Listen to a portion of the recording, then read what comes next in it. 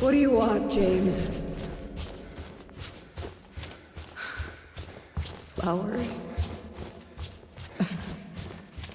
I don't want any damn flowers.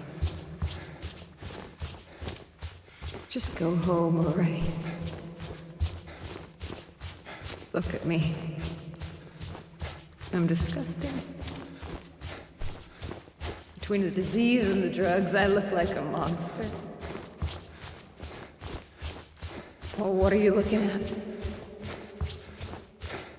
Get the hell out of here. Leave me alone already. I'm no use to anyone. I'll be dead soon anyway. It'd be easier if they just killed me. But I guess the hospital's making a nice profit off of me. Why are you still here? I told you to go. Are you deaf? Don't come back. James. Wait. Please. Don't go.